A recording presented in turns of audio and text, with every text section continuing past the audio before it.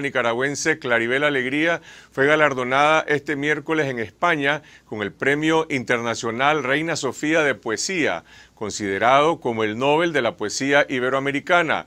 El reconocimiento lo otorga la Universidad de Salamanca y el Organismo de Patrimonio Nacional de ese país y reconoce el conjunto de la obra de un autor vivo que, que por su valor literario constituye un aporte relevante al patrimonio cultural común. Claribel Alegría nació en Nicaragua y creció en El Salvador, donde vivió hasta su adolescencia y además de poesía, su obra incluye novelas y ensayos y documenta momentos claves de la historia historia reciente del país como la Revolución Sandinista. En su extensa bibliografía se destacan libros como Anillo de Silencio, Cenizas de Izalco, Sobrevivo, una vida en poemas, Otredad y varias antologías de su poesía como Ars Poética y Ojo de Cuervo. El jurado del premio destacó la producción literaria de la poeta que a sus 93 años se mantiene activa en la poesía y la literatura. Veamos lo que dijo Claribel Alegría al periodista Carlos Salinas Maldonado al conocer la noticia de este premio. Claribel, usted ha ganado el que es considerado el premio de poesía más importante en Iberoamérica, un premio que ya anteriormente había ganado también el poeta Ernesto Cardenal. ¿Qué significa para usted a los 93 años este galardón, el premio Reina Sofía de Poesía? Una maravilla yo todavía no salgo de mi sorpresa, porque ni siquiera sabía cuándo iba a ser el jurado ni nada de eso, no, ni me lo imaginaba. Así que para mí eso ha sido una seña de que yo nací con buena estrella. ¿Cómo celebra Claribel Alegría este reconocimiento? Este reconocimiento con mis hijos sobre todo, primero con mis hijos, pensando mucho en mi marido. Y te voy a contar una anécdota. Fíjate que unos dos años antes de que él muriera, cuando se inauguró el premio, que creo que fue como en el 92 o algo así, me dijo él, ay, me dijo, un premio así me encantaría que sacaras tú. Y yo me reí y me dijo, lo malo es que no voy a estar contigo para compartir. Uno de los temas recurrentes en la poesía de Claribel Alegría es el amor. Claribel, ¿por qué cree que la gente se interesa tanto por el amor, por leer sobre el amor, por escribir sobre el amor, por cantar el amor? Ay, porque el amor es lo principal de la vida.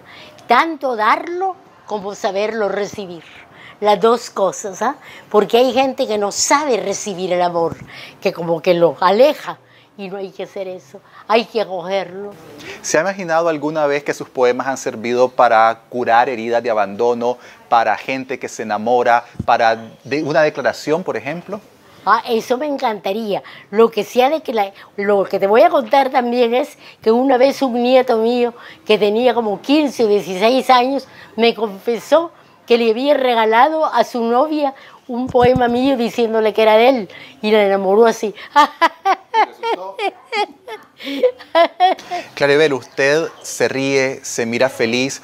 ¿Cómo logra mantener esa alma tan vibrante, tan alegre? Porque amo la vida.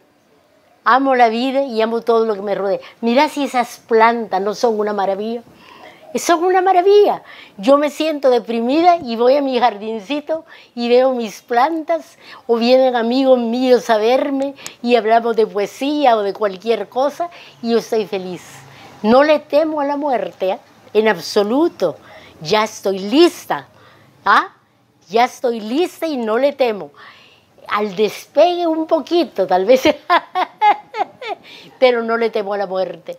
O voy a ser ceniza y voy a ser el abono de una planta, o a lo mejor tengo una aventura maravillosa, un viaje lindo.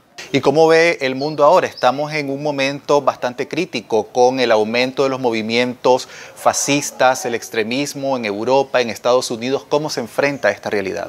Así es, horrible.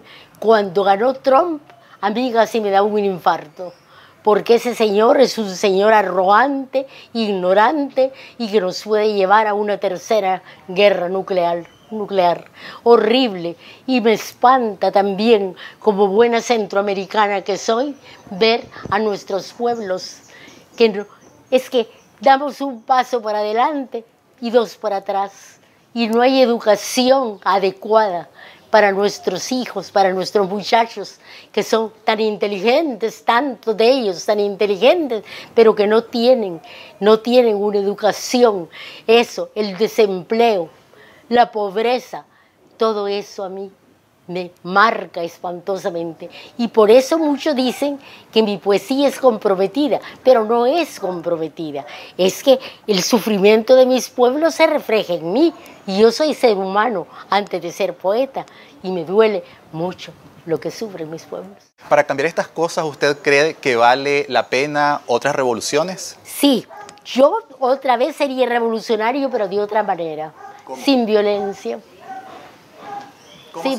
Ay, porque eso es horrible. Mira, nunca se me va a olvidar cuando mi marido y yo fuimos a los acuerdos de paz del Salvador que nos invitaron.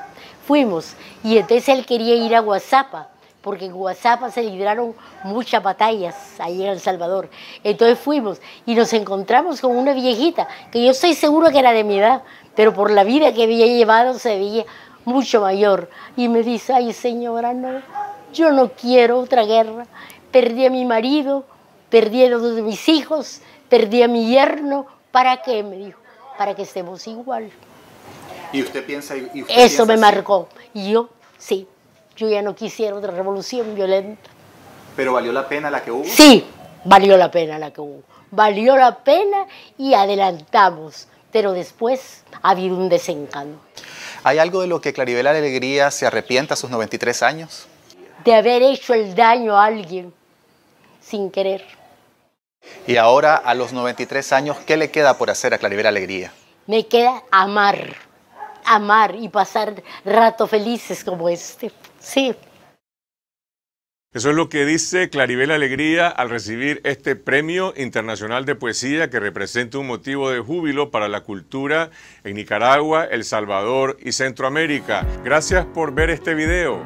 Síganos en Facebook y Twitter a lo largo de la semana y los invitamos a suscribirse a este canal para recibir todos los reportajes y entrevistas de esta semana, esta noche y confidencial.